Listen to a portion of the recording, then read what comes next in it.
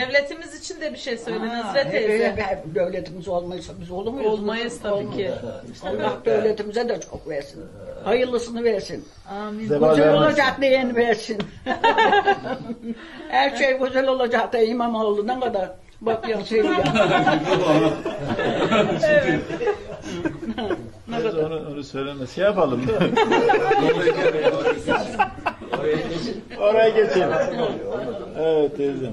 Dua ediyor musun teyzeciğim vatana? Hep Allah her şey çok versin. Hepimize, hep din kardeşiz ananın. Hep o evlatlarımız çıkmasın. Evet.